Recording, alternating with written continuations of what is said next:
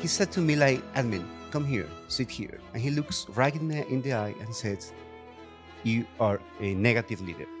That's the only thing I needed to hear. It caused a big effect in me. It, and then there was another question that kicked in. It was,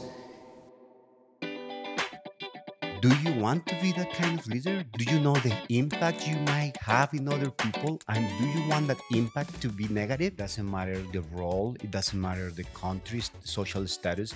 At the end, we are all behaviors. Everything I do in my life is thinking about the impact impacting my family, my friends, or just the society. Creating this space where we can build mutual learnings, where we can provide these open conversations where people get to know.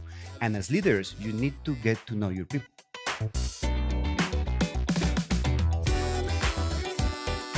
Technology is already here, and the only thing that machines don't do better than humans is emotions.